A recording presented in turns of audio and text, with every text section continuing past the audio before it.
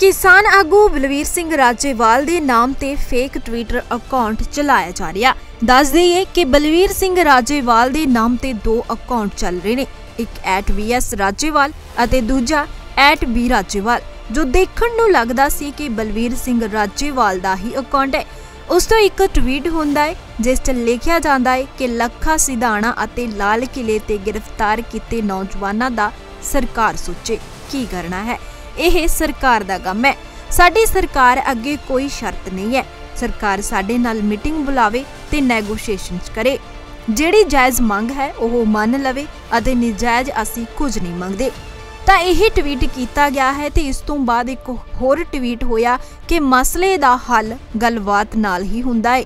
Negotiation give and take ਨਾਲ ਹੁੰਦਾ ਹੈ। ਜਦੋਂ ਵੀ ਹੋਵੇਗਾ ਨੈਗੋਸ਼ੀਏਸ਼ਨ ਨਾਲ ਹੀ ਹੋਵੇਗਾ। ਅਤੇ ਇਹ ਹੁਣ ਸਰਕਾਰ ਤੇ ਨਿਰਭਰ ਹੈ ਹੱਲ ਕਦੋਂ ਕੱਢਣਾ ਹੈ ਅਸੀਂ ਤਿਆਰ ਬੈਠੇ ਹਾਂ। ਪਰ ਬਾਅਦ ਦੇ ਵਿੱਚ ਇਹ ਸਪਸ਼ਟੀਕਰਨ ਦਿੱਤਾ ਗਿਆ ਹੈ ਕਿ ਬਲਵੀਰ ਸਿੰਘ ਰਾਜੇਵਾਲ ਦੇ ਵੱਲੋਂ ਇਹ ਅਕਾਊਂਟ ਉਹਨਾਂ ਦਾ ਨਹੀਂ ਹੈ, ਇਹ ਫੇਕ ਅਕਾਊਂਟ ਹੈ। ਉਹਨਾਂ ਨੇ 29 ਦਸੰਬਰ ਤੋਂ ਬਾਅਦ ਕੋਈ ਟਵੀਟ ਹੀ ਨਹੀਂ ਕੀਤਾ।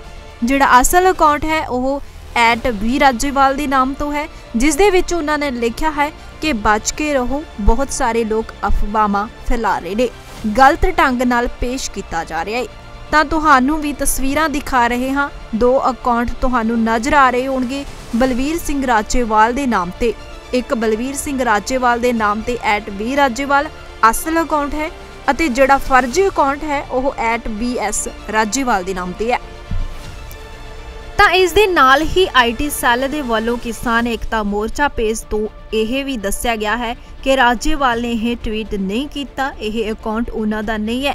ਕਿਰਪਾ ਕਰਕੇ ਇਸ ਅਕਾਊਂਟ ਨੂੰ ਰਿਪੋਰਟ ਕੀਤਾ ਜਾਵੇ। ਫੇਕ ਅਕਾਊਂਟ ਹੈ।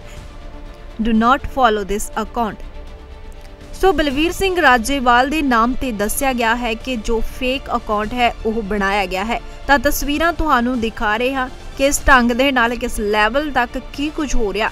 ਲੱਖਾ ਸਦਾਨਾ ਦੀਪ ਸਿੱਧੂ ਅਤੇ ਹੋਰ ਨੌਜਵਾਨਾਂ ਦੀ ਗੱਲ ਕੀਤੀ ਗਈ ਹੈ ਕਿ ਇਸ ਟਵੀਟ ਦੇ ਜ਼ਰੀਏ ਕਿਹਾ ਗਿਆ ਹੈ ਕਿ ਨੈਗੋਸ਼ੀਏਸ਼ਨ ਹੋਣੀ ਹੈ, ਤਾਂ ਸਰਕਾਰ ਗੱਲ ਕਰੇ। ਤਾਂ ਬਲਵੀਰ ਸਿੰਘ ਰਾਜੇਵਾਲ ਦੇ ਨਾਮ ਤੇ ਇੱਕ ਫੇਕ ਟਵਿੱਟਰ ਅਕਾਊਂਟ ਚਲਾਇਆ ਜਾ ਰਿਹਾ ਸੀ। ਬਲਵੀਰ ਸਿੰਘ ਰਾਜੇਵਾਲ ਨੇ ਖੁਦ ਇਸ ਦਾ ਖੁਲਾਸਾ ਕੀਤਾ ਹੈ ਕਿ ਇਹ ਟਵਿੱਟਰ ਅਕਾਊਂਟ ਉਹਨਾਂ ਦਾ ਨਹੀਂ ਹੈ। ਉਹਨਾਂ ਨੇ ਇਹ ਟਵੀਟ ਨਹੀਂ ਕੀਤੇ।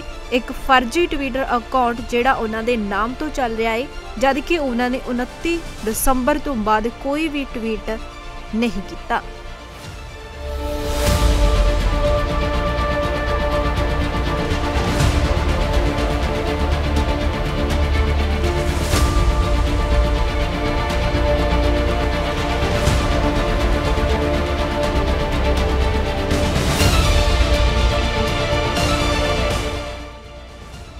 ਸੋ ਰਾਜੇਵਾਲ ਦੇ ਨਾਮ ਤੇ ਚਲਾਇਆ ਜਾ ਰਿਹਾ ਫੇਕ ਅਕਾਊਂਟ ਜਿਸ ਤੋਂ ਬਾਅਦ ਰਾਜੇਵਾਲ ਨੇ ਖੁਦ ਟਵੀਟ ਕਰਕੇ ਖੁਲਾਸਾ ਕੀਤਾ ਹੈ ਕਿ ਉਹ ਇਹ ਫੇਕ ਅਕਾਊਂਟ ਹੈ ਤੇ ਉਹਨਾਂ ਨੇ 29 ਦਸੰਬਰ ਤੋਂ ਬਾਅਦ ਕੋਈ ਟਵੀਟ ਹੀ ਨਹੀਂ ਕੀਤਾ, ਇਸ ਲਈ ਇਸ ਫੇਕ ਅਕਾਊਂਟ ਤੋਂ ਬਚ ਕੇ ਰਹੋ ਤੇ ਲੋਕ ਅਫਵਾਹਾਂ ਫੈਲਾ ਰਹੇ ਨੇ। Bureau report Sky News Punjab. ਖਬਰ ਦੀ ਤਾਜ਼ਾ ਅਪਡੇਟ ਦੇ ਲਈ ਸਾਡੇ YouTube ਚੈਨਲ ਨੂੰ ਸਬਸਕ੍ਰਾਈਬ ਕਰੋ, Facebook ਚੈਨਲ ਨੂੰ ਲਾਈਕ ਅਤੇ ਸ਼ੇਅਰ ਕਰੋ।